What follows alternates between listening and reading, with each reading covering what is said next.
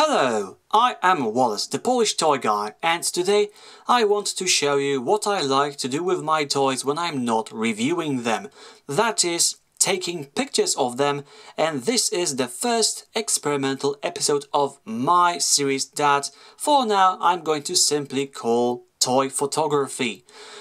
I'm not talking about simple pictures when I just put something on the set and take a picture, I mean slightly more artistic pictures when I try something more experimental, unusual.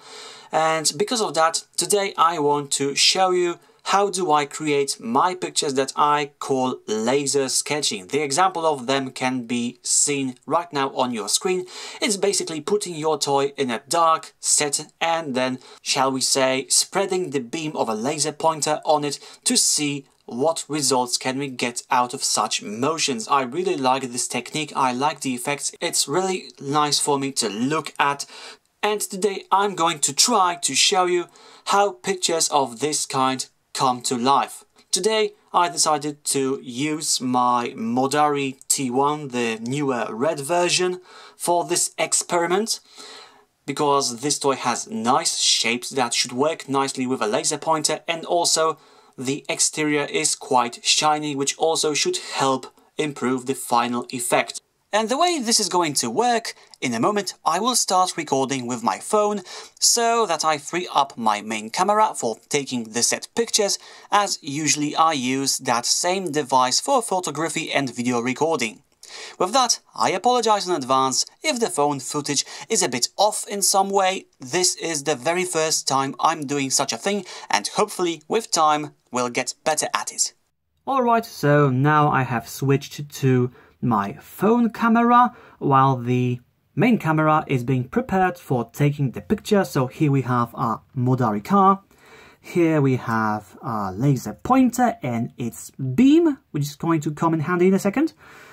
So, okay, I'm switching the camera into manual mode. For now, the shutter speed is 8 seconds and the aperture is 3.2. This means it's going to take a moment to take the picture, but as a result, the camera will swallow a lot of light, which will help considering that this beam, even in darkness, is not all that powerful of a light source. So, with that said, it's time to make a little blackout and see what's going to happen. So, one more time, this is the thing that I'm seeing with my main camera for the moment with the last light on. And now it's time to go for dark. Okay, and now to use the second nice feature of this laser pointer, that is its torchlight function, because in my main camera I need the camera to actually see what it's taking picture of for it to establish the point of focus. So I'm putting some light so that the focus can, well, focus. Alright, and it's done, so now I can switch this off with the focus set. And now, oh wait, one more thing to do. I actually have to delay the picture, for example, by two seconds, because the moment I release the trigger without that, the small tremble that I'm causing may make the picture slightly shaky. So Okay, two seconds. Right, one more time. Focus line established. Let's do it. And it's off. And I'm smearing the entire figure with my laser beam, which at this point looks more like a very irregular line. I'm trying to cover as much of the vehicle as possible. And it's done. And this is how our first picture looks. Quite nice in my opinion. So let's try doing this again with a different pattern. Focused established.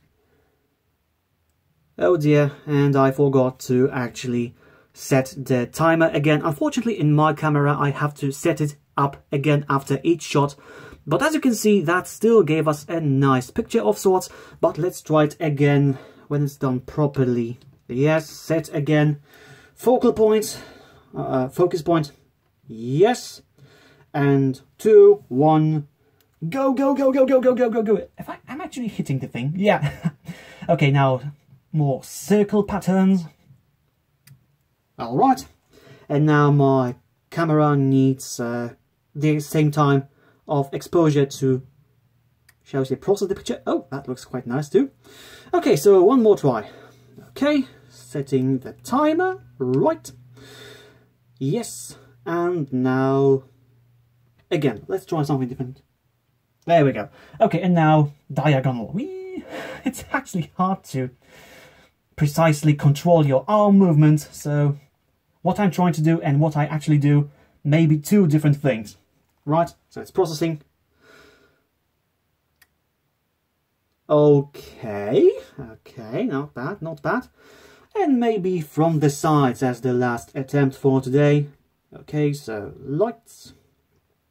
Yep. Oh, timer.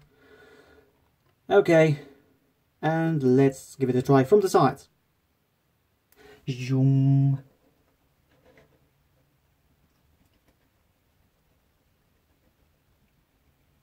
Okay, that little bit means that it's done, so now let's wait for the results.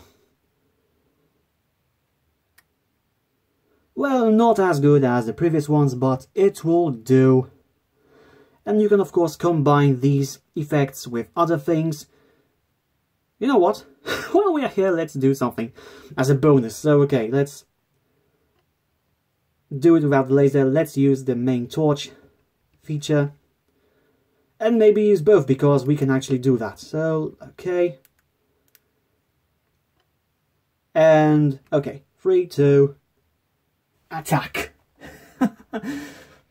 I'm not sure what to expect from this one, but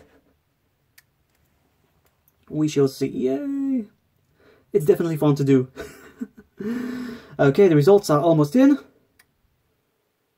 Okay, that's interesting as well. So uh, this is something that actually takes a lot of practice to properly do. You not always get the effect you are aiming for, but still I find this a lot of fun as different types of toys work in different ways with this kind of idea. Oh, with the lights please.